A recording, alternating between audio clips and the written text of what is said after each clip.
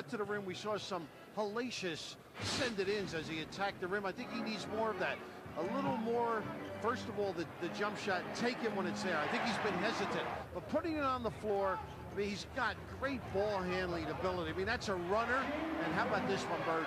This is the personality you love to see him have on the floor.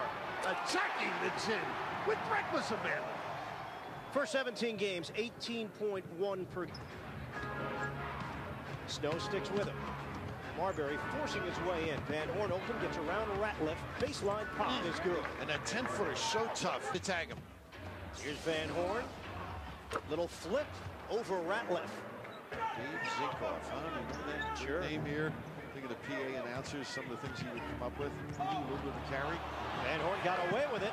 Count it. There's a whole clock, and uh, Larry not real happy. But just right here, they're, they're, they're concentrating on making that call. Unfortunately, for Keith, he can Under four minutes to play in the first. Van Horn, bullet feed for Gill. nice, huh? Space dribble. As a freshman at Syracuse, that's how polished a player he was coming out of Carlisle. Nice post up again. The jump since his ability.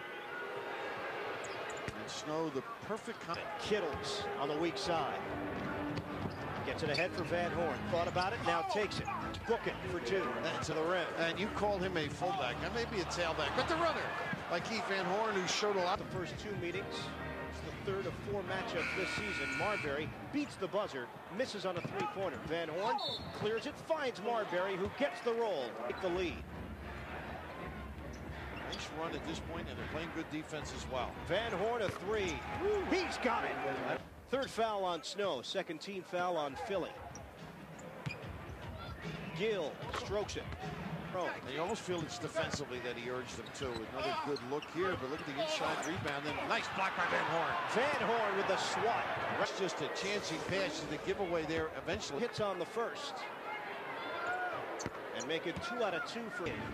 It forces Harris to handle the ball more. Gotta watch the rear. They attack Newman. Three-pointer. They need it. They get it. At 8%. Philadelphia at 33% from the field. Kittles on a runner. Following the shot. That doesn't go, and Van Horn That can make free throws. connect the Philly lead to two. He does. 96, 93, 76ers. Penetration, Snow on a dish. Ratliff, extra pass. Van Horn blocks the shot. And Van Horn was able to swat it away. Terrific effort by Keith Van Horn here. Just unfortunate. Unable to execute. It happened to them on Saturday night.